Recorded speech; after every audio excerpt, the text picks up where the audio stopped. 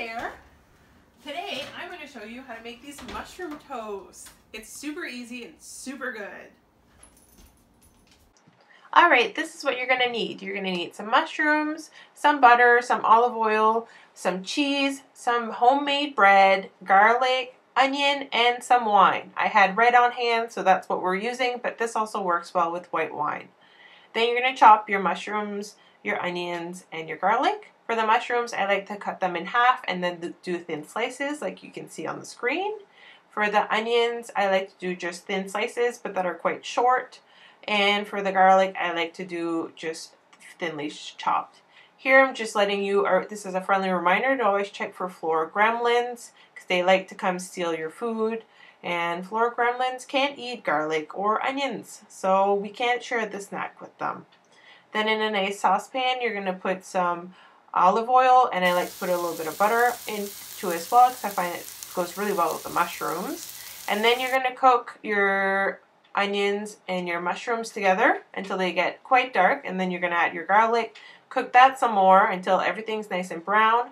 And then you're going to deglaze the pan, which means you're just going to throw some wine in and you're going to take your wooden spatula and you're just going to scrape, scrape, scrape, scrape, scrape right in that pan and try to get all the flavor that's stuck at the bottom of the pan into your mushrooms.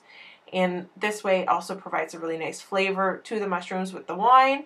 And then you're going to do this until all the wine is evaporated. And once that's done, you're going to start spooning your mixture onto your homemade bread that I know everyone's been busy making during this pandemic we're living through at the moment. And then on your toast, you're going to do a nice even layer of mushrooms, and then you're going to put your cheese. I had nice Parmesan and some brie at home, um, so that's what I used, and I actually really, really like this. So if you are doing some shopping for this, um, I would recommend this. You could also swap the butter and the cheese for vegan options, and this makes a really good vegan meal too. Um, but I do eat dairy a little bit for treats such as today. So I did decide to put real cheese and real butter um, as a treat. And then once they're nice, you, you want to put it in the oven on broil and just keep an eye on it. You basically just want the cheese to melt and your toast to toast a little bit. Um, but you don't want to leave it in there for too long because it will burn or it will get um, too hard. So you just want to get it to the cheese is melting. And now we're going to try it. And it's going to be really good, I bet.